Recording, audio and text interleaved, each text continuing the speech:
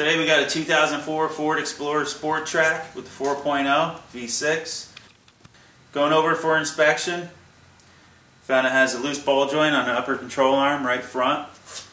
The other ones feel good. I gave them a price on doing all four of them. However, they opted just to do the one that's bad. So I'll be demonstrating how to replace that ball joint.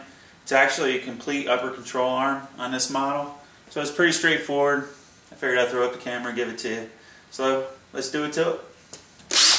And I still got it jacked up the lower control arm. Got a jack stand underneath it.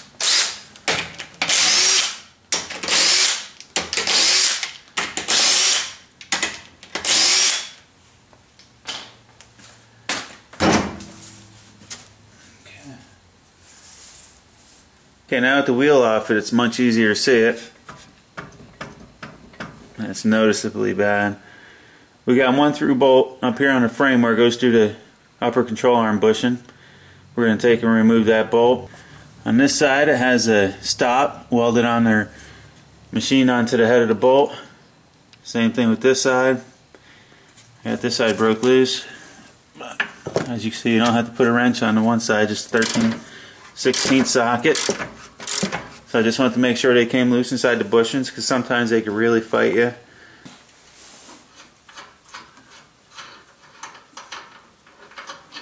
That's one. 21 millimeter probably fit as well.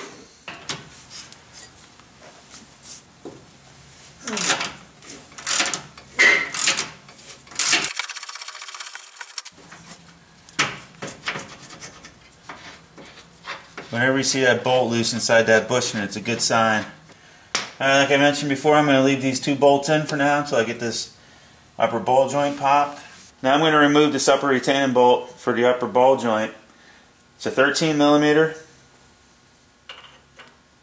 and a 15 millimeter. Since I found that this was metric, most likely those upper nuts are 21 millimeter. However, the 13 16 seem to fit nice and tight, but uh, most likely it is a 21.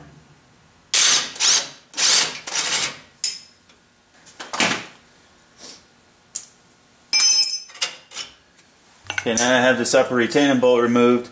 There's a notch in the back side of the spindle, which when you tighten up this bolt, it compresses and locks that upper ball joint tight. So I'm going to go onto the back side with a chisel, put it in between that notch and try to spread it a little bit.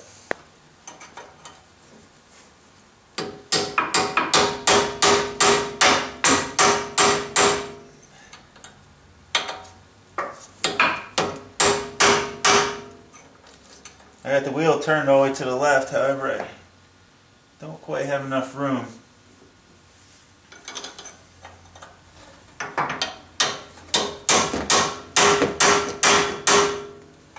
Sometimes doing that's just enough to get it to break loose.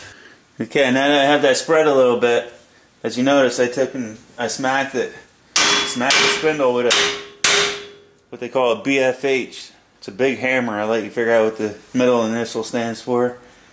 Giving it a couple whacks will help jar the rust loose. And I could even spray some penetrating oil in there to help it out. But let's see if that got it yet. Oh yeah, she's going.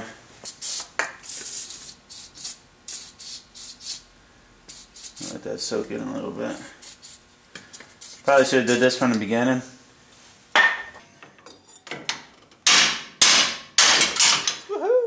There she goes. As you can see, it probably had some water and whatnot that stayed down in there and got rusted up. Now I'm going to take and remove the upper bolts. As you can see, you have your flat plate on the top.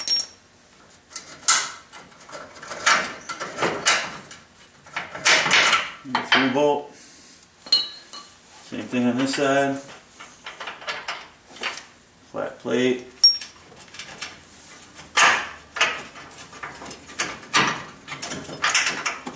Through bolt. There's your upper control arm. Okay, another thing to take notice. See how this upper bolt is notched out? This is part of your front end alignment. So I'll get it as close as possible by putting it back in its original spot. However, this vehicle will need a front end alignment after I'm done replacing this upper control arm. Okay, so here I have the new upper control arm. You want to match it up to your old one.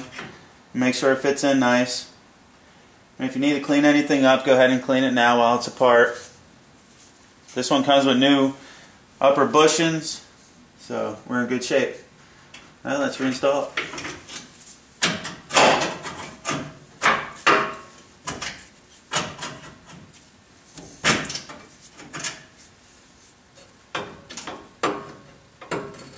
I'm just going to leave the ball joint out for now.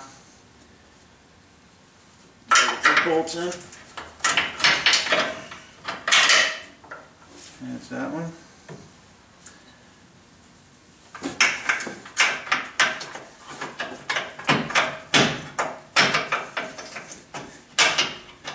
Okay, that's that one. Remember your upper plate.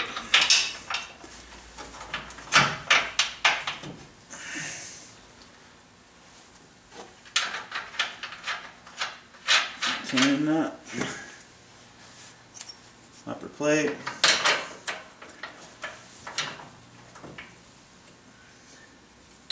Nut.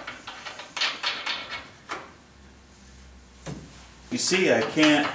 I mean, once I tighten that up, I can't really make any adjustments.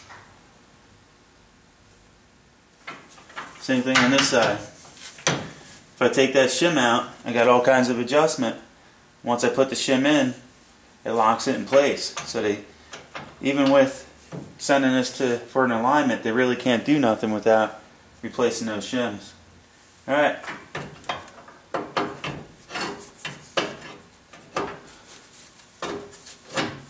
Now what I did, I just used that spindle to help me center that ball joint. And we're going to knock the ball joint down until that notch is lined up, and that's where the through bolt goes. In addition, when you clamp it down, it actually has a clamping force because of that notch. So, alright. Okay, I just straightened the wheel back out. Just take a peek through and push it down until it lines up. And push your retaining bolt through.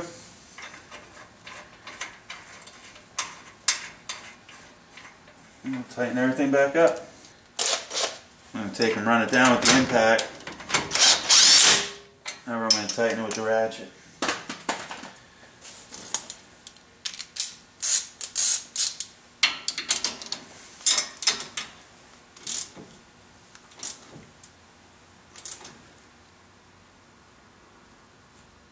Okay.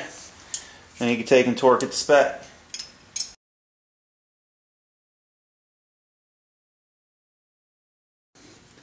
Okay, that's all there is to it, guys. I got the upper bolts tightened and torqued.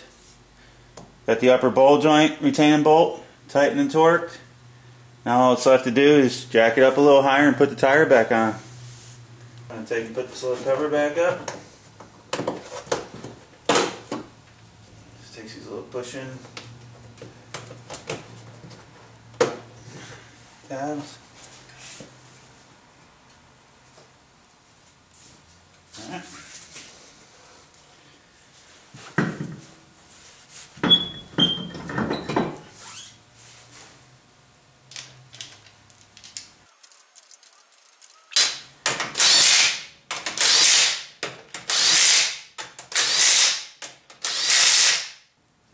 How it feels. Oh yeah. Tight as a drum, guys. No more play. That's what I like. I'm going to lower it down off the jack stand and uh, torque the wheel. Okay, there you have it. Hope you guys enjoyed.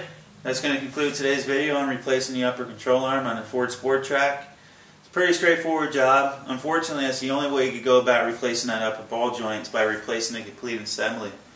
And one aspect, I really like it because you're killing pretty much three birds with one stone. You're replacing the upper bushings, so you got your two upper bushings if they're squeaking and squawking, which they do in some cases. You're replacing the bushings, plus you're replacing the ball joint in one shot. In that aspect, I do like it. However, in some cases, you could get these in where the top bolts just don't come out of the bushings. They actually get seized in the inner bushings. And then when that happens, guys, man, it could be a real challenge. It could add hours onto that job. This one went nice and smooth, so it was pretty straightforward. But if you do get some that are seized in there, I've been there, guys. It's not fun. A lot of times you can let them soak, whack them a few times, heat them with a torch, burn the rubbers out of them. You can do all kinds of stuff, and sometimes they still don't go. In that case, what I do, I take a cutoff wheel, real thin cutoff wheel on a grinder, and go right between the bracket and the bushing and just cut both sides and take them out in pieces like that. You got to be real careful not to cut the bracket. That would be the worst case scenario. However, I just wanted to throw that out there. A lot of times they do come out, but there are certain cases where they don't. So I'm going to recommend them to throw it on the alignment machine just to double check the alignment. There really isn't much I can do with it, as you can see with those spacer blocks in there. There may not be any adjustment to do, especially since everything lined up and seemed like it was the same exact size, but you never know. So I'm going to recommend it, especially since they have new tires on it. I would hate to have them have abnormal wear and premature wear. Well, like always, guys, I hope you enjoyed. Stay tuned and please subscribe to see more.